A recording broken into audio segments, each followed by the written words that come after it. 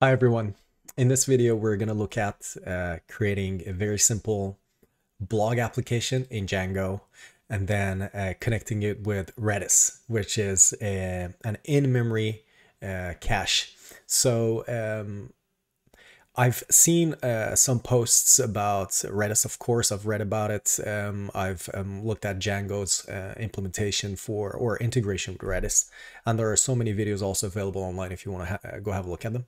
Um, so I'm kind of like basing my video on top of a lot of other videos that are available out there. But some of these videos, unfortunately, uh, jump over uh, quite a lot of important steps in setting up the whole environment. So I thought to create kind of like a definitive uh, guide to integrating uh, Redis with Django. So what we're gonna have a look at in this video is to uh, create kind of like a blog application.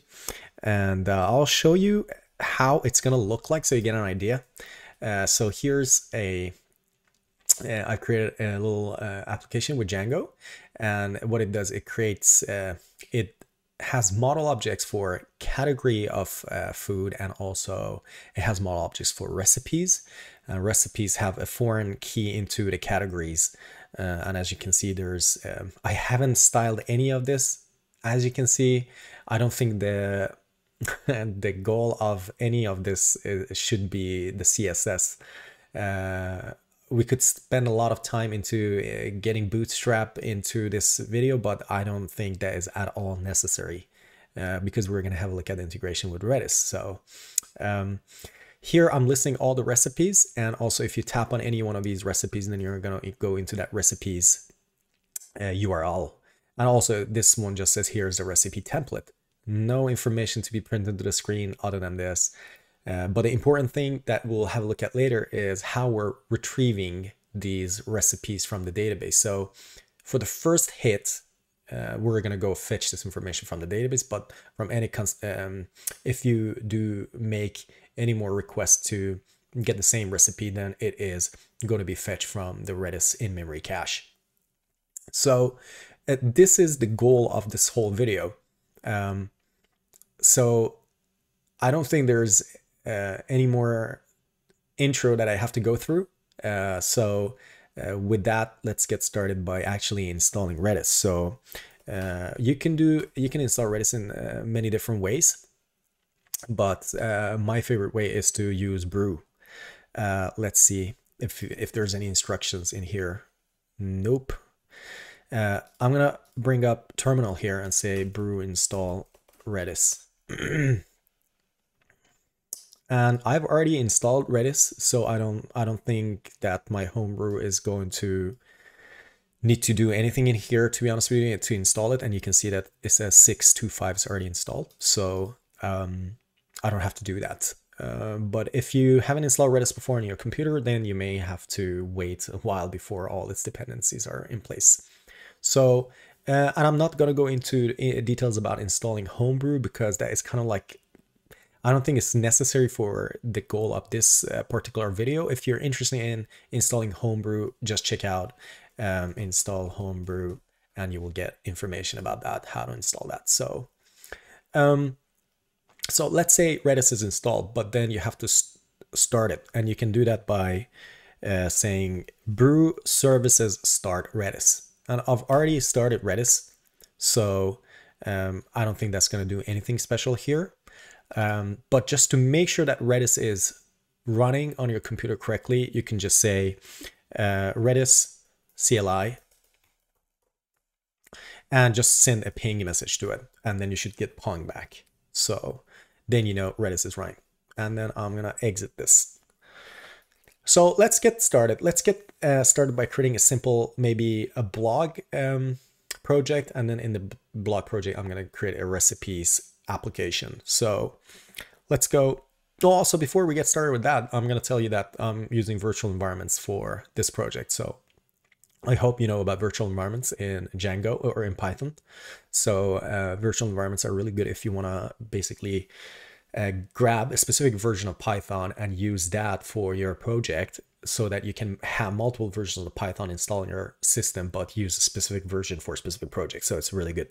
And then also installing dependencies uh, for your only for your virtual environment. So um, let's go into a folder where you place your projects. I have Django projects, uh, and I'm gonna say uh, Django admin start project, and let's call it uh, blog uh, or my blog. Okay. Uh, oh, Django admin. I don't have Django admin. How come? Django admin.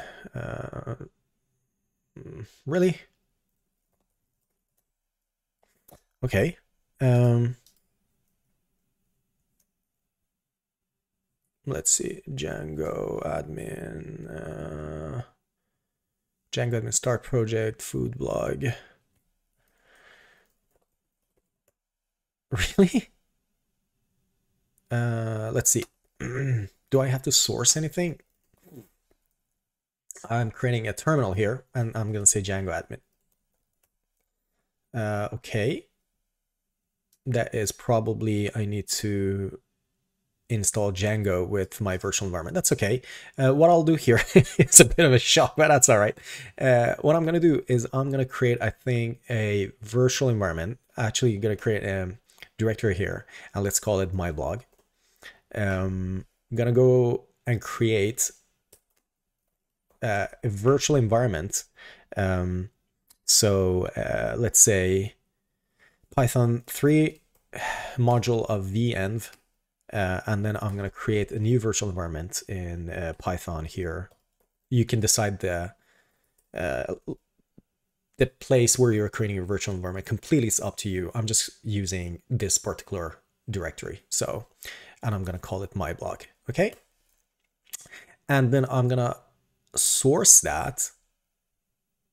So like this, and I'm going to say source, uh, I think is bin activate. Yep. Uh, and I'm going to say pip env install Django. And I also want uh, Redis. So we will install Redis later, but for now, just Django.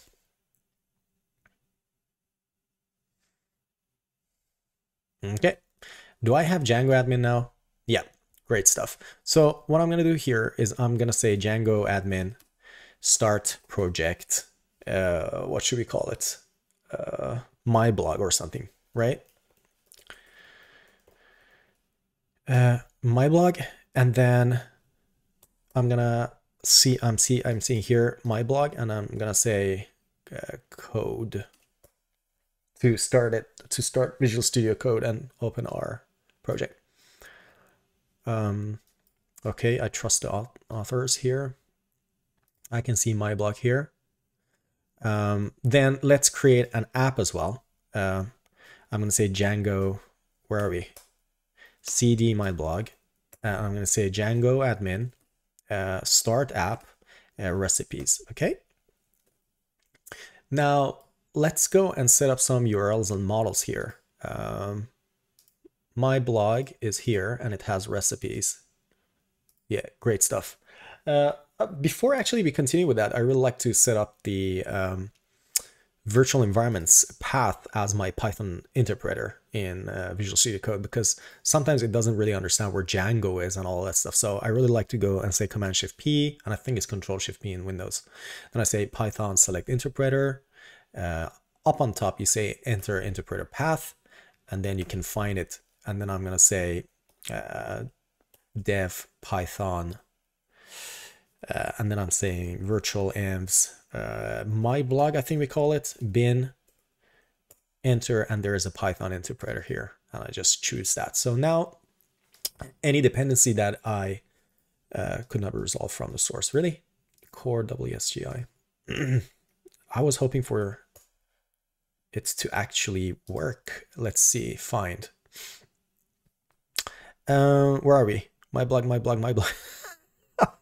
Why is there three of them? Uh, let's go to virtual envs, my blog, uh, bin, and then Python. It's it's not really happy about that.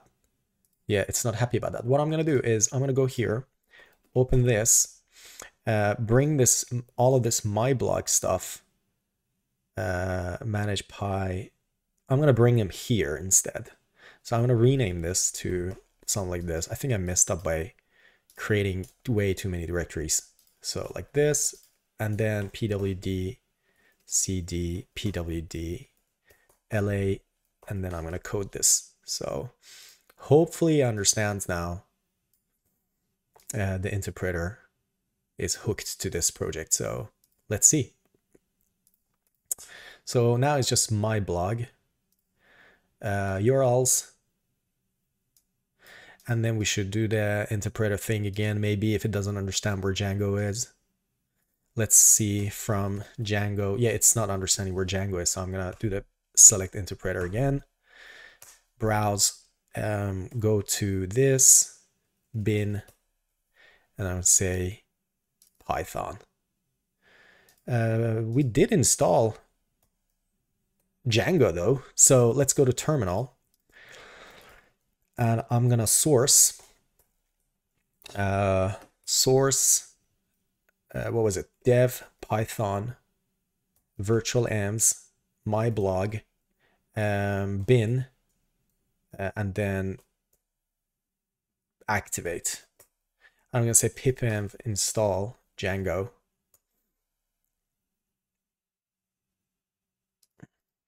Well, it's not happy about that. I don't know why it's not happy about that, to be honest with you. Um, because if we look at that particular folder in here, push D, LA, Django is there. So Python, Python, C, SQL, blah, blah. Yeah, and we've sourced it. So I don't really understand why it's not happy about it, but that's okay. We're not going to get bugged with that. Let's just continue. Um, now, what we could do is to just, um, let me have a look. Uh, I'm going to stop my audit server. You don't see my screen, but I'm going to stop it. Let's go create two models in our recipes in models. Uh, and I'm going to say class, uh, let me have a look at what we are calling them, category and I'm going to say this is a models model. All right. Uh, we say name is uh, models dot uh, char field, I believe, and we'll give it a length of 100 and uh, any str here. And then I'm going to say uh, self name. And then I want a recipe class. So let's say models model uh, and this has a category which is models dot primary key oh foreign key on category and on delete it should say models dot cascade so um that's it let me make this a little bit bigger so we have more uh, room here and then I'm gonna say name is equal to let's just copy this the name of the recipe is kind of like that. Then I want an image URL. Then I'm going to say models char field as well. And its max length is 500. And then it should have some description is models text field. Okay. Um, and then we def str this one as well to get its representation. And we say red return self name. All right. Now we got two models in here. Uh, I'm going to pop D here and go back to my blog. Uh, let's uh, do the migrations now. Um, actually, before we do the migrations, we have to register this application, right? This uh, recipes application. Let's go to uh, the settings of the project. Uh, then I'll say here, Django, no, we have recipes, and then we have apps dot recipes config. All right. Um, now we've registered the app. Seems fine. I'm just gonna make the migration. So I'm gonna say Python manage py make migrations. Boom. Okay. And I'm gonna say migrate. Great. so So now we have the migration in place. Now we need somehow to uh, go to our uh, main template. So I'm going to create a file in um, the recipes and I'm going to call this file. I'm going to say templates slash recipes slash home or uh, recipes HTML. Okay. And I'm going to say hello from the list of recipes. This is our uh, home HTML. Uh, what I'm going to do then is also to go and define some URLs for this recipes. So um, for that to work, we have to create the URLs, of course, uh, file. I'm going to say URLs py. I'm going to go and grab the URLs py from here, from the applications uh, URLs, and bring it into the recipes applications URL. Uh, In this case, we want a root um, uh, how do you say basically for this recipes HTML it's going to be our root. So there's not going to be any slashes or anything in there.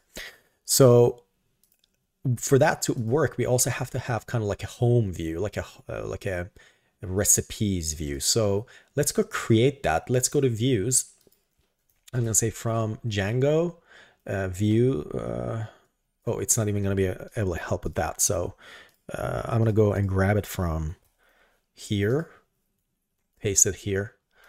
Uh, and then we want a home view. So let's say recipes view, and this is going to be just a, it's going to just be a list view maybe.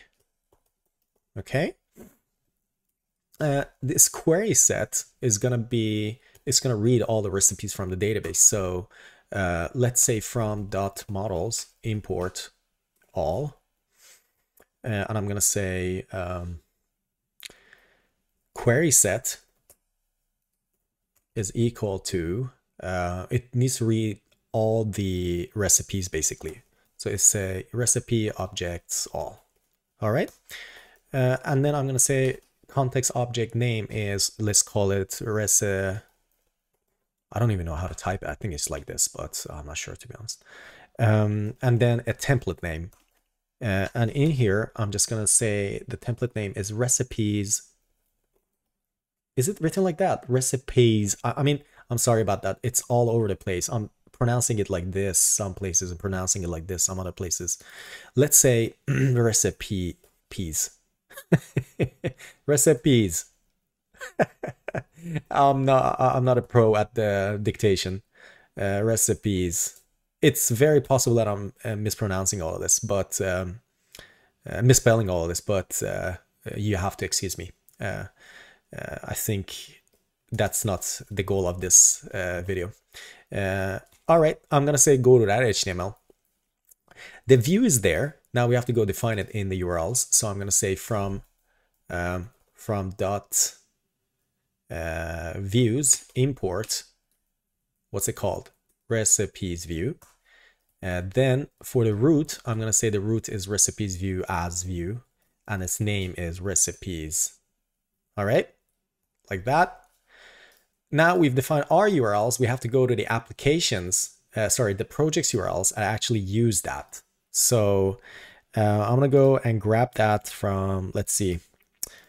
Uh, we have to import that as well, right?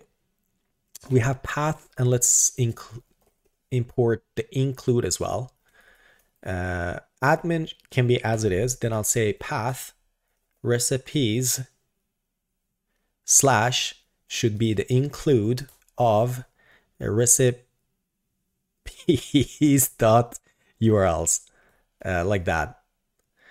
Uh, and now if everything goes fine, I should be able to start the application and then say localhost, blah, blah, blah and then uh, slash uh, recipes slash. Then we should go to our views and then to our template, if any of this works. Um, let's say Python 3 manage.py start pro uh, run server, I think. Yeah. Ooh, it's fine. Uh, I mean, I sometimes get scared when things actually go fine when I'm a bit unsure. Okay, this is expected. This is kind of expected because we haven't defined any URL for it, but we should say recipes slash. And here's the list of recipes we got to our template, okay? Now we should be able to go to our template and kind of define a um, table. So uh, let's see if I can kind of grab some code for that, but maybe not. Uh, I'm going to close all of these files at the moment, and I'm going to go to our templates, and then I'm just going to print this thing, uh, recipes, and see if we're getting it in here. You see it's a query set, it's an empty query set, because we have no recipes. So um, let's go and define some recipes then. Uh, I'm going to go into our admin here, and I'm going to say admin site register, and let's say from dot models import blah, uh, blah, register, mm, what was it called? Category and admin site register recipe. Okay, and then I'm gonna stop the server. I'm gonna say Python, uh, or I think it's Django admin actually, make super user. Create super user. Uh, it's like this. So Python manage py create super user. And I'm gonna say user is Vandad. It's fine, no email, and the password is also Vandad. Of course, you shouldn't do that. Um, but I'm just creating it for the sake of simplicity here. Then if I run the server uh, and I go to our localhost slash admin, then I can log in with that user, admin, oh sorry, Vandad, Vandad. Uh, and I can see categories and recipes. So let's go and add some categories and we say vegetarian, uh, save and another one, um, meat, meats, and then we say fishes. Uh, and then save. And then we go to recipes. Let's start adding a recipe for vegetarian. I'm just going to say images, vegetarian food. Uh, grab this one, looks good. And then copy image address. I'm going to say veg food one, veg info one add another one meat images meat food sorry i have no imagination uh, copy image address uh, meat uh, one and then image is this meat image meat recipe one and the last one is going to be fish i'm going to say fish fish food one and then image url is going to be fish let's say fish and chips um, images, grab a nice fish and chips image from here. And then I'm going to say fishy, fishy, and then save it. Now, if I refresh here, then we get three recipes. Okay. So let's go create a table, a little, very, very simple table. Um, and I'm just going to say here are the available recipes. Uh, and I'm going to create a table and t head and then t body here. Uh, for the head, I'm going to create a row with, uh, let's say, category name. Copy paste this here. So there are three columns that we're going to display. Uh, recipe, name, and then more info or something like that. Um, that's our header. And for the body, then we're going to create a loop here and we're going to say for recipe in recipes, I think, uh, and then end for. This is the this is the disadvantage of not being able to actually spell things. I don't even know what I'm calling it. We can know that by going to our views uh, and have a look at the object. It's called recipes. So that's it. Um, then I'm going to create a row here as well tr tr what uh, tr uh, td um, so like that and then for the first one we have to say recipe dot category dot name uh, and then we should say um, recipe dot name and of course we have to put these in in their tags um, like that sorry and then here, there's going to be more info. I'm just going to say A, uh, href. And we're going to do like a reversed uh, URL uh, search here. And I'm going to say for the href, it's going to be boom boom URL. And let's call it, uh, that URL is going to be called recipe in the future. Uh, and then we're going to pass the recipe ID as the parameter. Uh, uh, what am I missing here? This, yeah, that looks good. And then in the A, we're going to say more info, okay? This is, I think, going to give us an error right now because we don't have this defined. Uh, I could be wrong about this, but let's have a look. Um, you see, this is, says for recipe recipes because it doesn't really know how to parse that. So um, maybe we should then go and define our recipe view as well. So let's go to views and then we say class recipe view, and this is gonna be just a generic view. And at the moment, um, let's define a get for it. Uh, I just want to test quickly. Uh, and the get itself, I think, uh, request args and kw args. And then we just return HTTP response. We say hello. Uh, or just details page. Okay, something like this. Uh, and then we go into our URLs and define this. And we say path is, uh, what should the path be? Let me see how I defined it before. I think uh, we'll just pass the recipe here. Uh, recipe uh, and then slash int for the primary key. Uh, okay.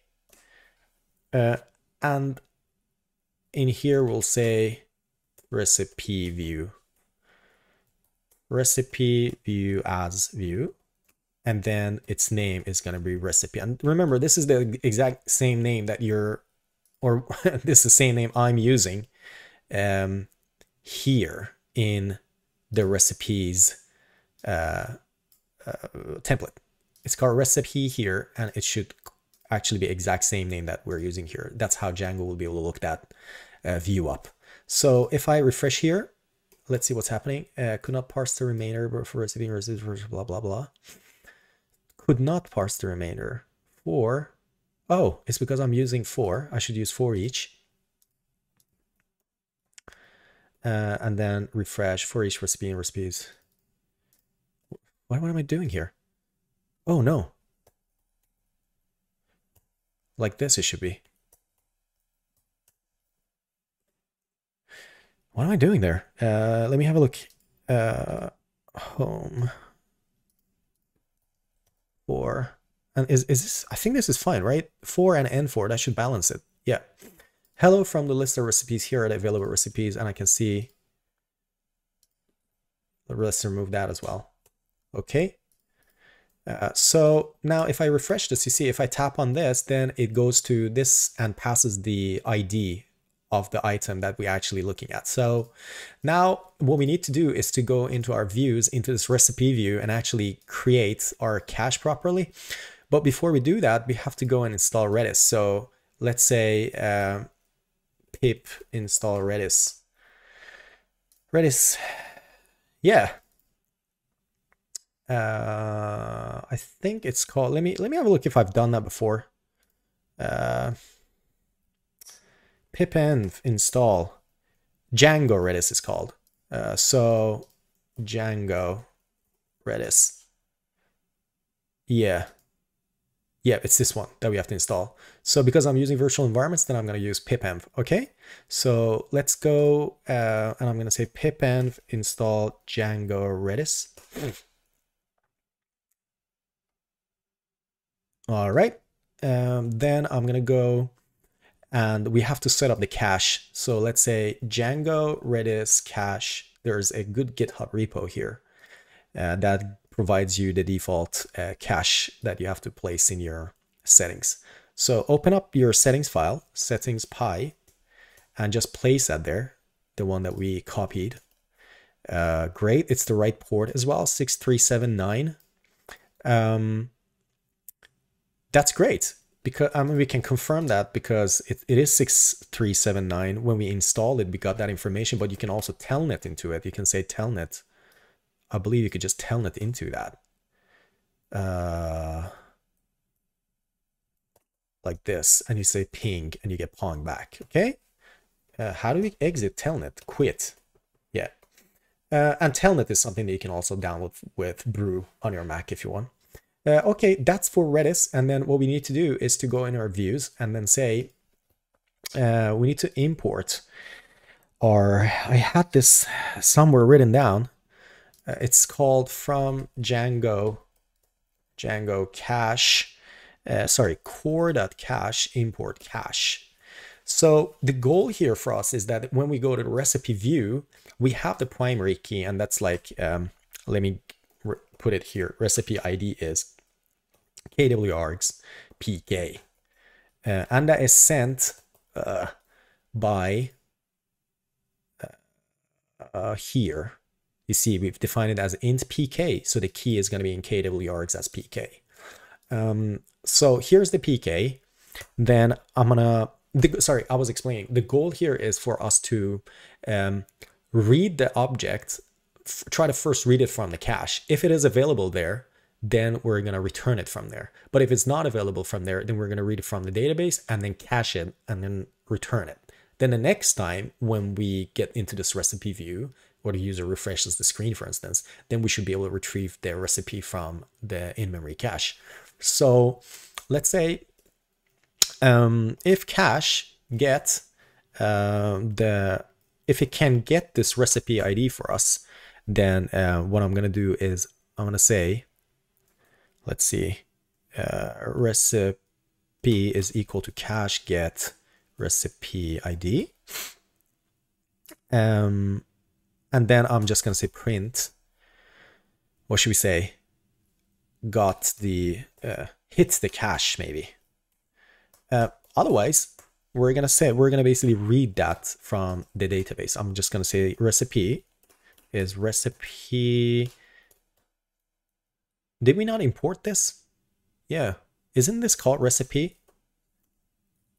Uh, recipe dot objects and then get and the pk should be equal to the recipe id uh, and then i'm going to set it in the cache so that's important uh, and i'm going to say is given this recipe id set this recipe in there and let's just print and say what should i say hit the hit the DB.